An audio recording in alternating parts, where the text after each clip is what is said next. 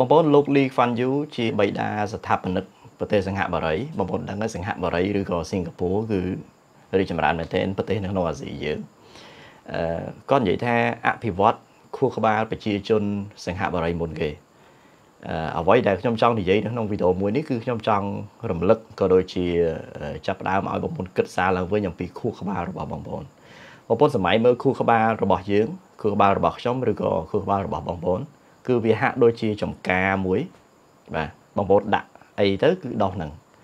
បើសិនជាបងប្អូនទុកចោលស្មៅដោះហើយហើយស្មៅហ្នឹងយើងតំណាងឲ្យរឿងអាក្រក់អាក្រក់រឿងមិនល្អចុះហើយស្មៅហ្នឹងអត់ចាំបាច់ធ្វើអីទេអត់ចាំបាច់ទៅដាំវាទេ គឺវាដោះមកឯងអញ្ចឹងផ្ទុយទៅវិញយើងមានតែព្យាយាមកាប់វាព្យាយាមធ្វើយ៉ាងម៉េចកុំឲ្យវាដោះមកទៀតអ្វីដែលខ្ញុំចង់ប្រាប់បងប្អូនចំដីចំការមួយហ្នឹងបើសិនជាបងប្អូនយកទៅដាំពោត ចេញពោតយកទៅដាំដំឡូងចេញដំឡូងបាទគ្រាន់តែដំណាំមួយចំនួនប្រហែលជាដាំអត់ត្រូវអញ្ចឹងជាមួយនឹងដីមួយចំនួនប៉ុន្តែឥឡូវយើងសន្មត់ថាយើងដាំស្អីដោះនឹងចោះអញ្ចឹងបើសិនជាបងប្អូនប្រើយកទៅដាំរឿងល្អវាចេញរឿងល្អប៉ុន្តែបើសិនជាបងប្អូនអត់ប្រើឬក៏ប្រើយកទៅដាំរឿងអត់ត្រូវវាចេញរឿងអត់ត្រូវតោះណាបងប្អូនណាបាទបើសិនជាបងប្អូនអត់ប្រើអារឿងអត់ត្រូវហ្នឹងអារឿងអត់ល្អហ្នឹងគឺវានឹងដោះដូចស្មៅដែរ អញ្ចឹងសំណួរសួរថាម៉េចសំណួរសួរថាបងប្អូនគួរដាំរឿងល្អឬក៏រឿងអាក្រក់ពេលខ្ញុំសួរអញ្ចឹងបងប្អូនលើកដៃ20ដៃ10ថាអូយបងដាំរឿងល្អដាំរឿងល្អខ្ញុំក៏ចង់ដាំរឿងល្អដែរបងប្អូន ពេលដែលគេសួរបងប្អូនថាបងប្អូនចង់បានទេស្អីមួយឧទាហរណ៍ថាឡានលុយវិឡាផ្ទះអារឿងដែលល្អល្អនិយាយខ្លីទ្រប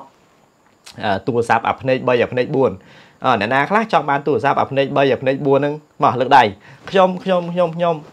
ប៉ុន្តែបងប្អូនមានធ្វើសកម្មភាពដើម្បីទៅរកវាអត់បងប្អូនមានចាប់ផ្ដើមដាំស្អីមួយដែលធ្វើឲ្យបងប្អូនបានវាអត់ហើយផ្ទុយទៅវិញអ្នកខ្លះវាមិនមែនជារឿងដែលត្រឹមតែមិនសុបាយចិត្តថាយើងមិនទទួលបានទេប៉ុន្តែស្អប់គេទៀតបាទស្អប់គេទៀតស្អប់អ្នកដែលទទួលបានផលស្អប់អ្នកដែលមានបានជាងខ្លួនអីចឹងទៅចាប់ផ្ដើមមានអារម្មណ៍អវិជ្ជមានទៅអវិជ្ជមានទៅរហូតដល់ថ្ងៃណាមួយលេង និយាយរកគេបដ ாய் ឆ្លោះជាមួយគេបដ ாய் មិត្តភ័ក្តិដែលធ្លាប់ស្គាល់រាប់ឆ្នាំដល់ពេលគេធ្វើរឿងដែលល្អហើយគេបានផលហើយផ្ទុយទៅវិញយើងអត់មានបានធ្វើអីសោះយើងអត់បានផលអីសោះយើងមិនមែនតែគិតថាចំគេបានផលមកពីអី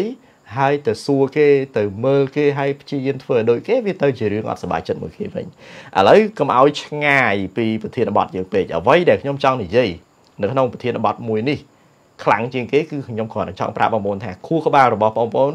គឺស្ថិតនៅក្នុងនេះហើយខួរក្បាលរបស់ខ្ញុំស្ថិតនៅក្នុងក្បាលរបស់ខ្ញុំហើយខ្ញុំជាអ្នកបជាក្បាលហ្នឹង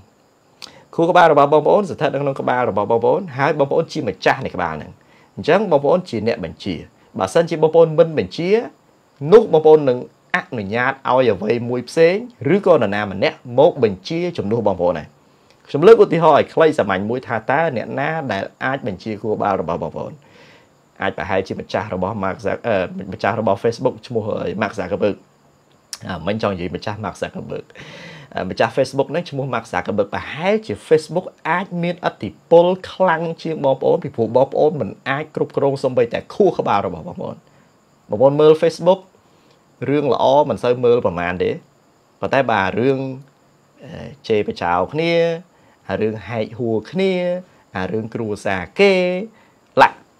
និយាយពីមើលមិនត្រឹមតែមើលខ្លួនឯងទេ share គេមើលទៀត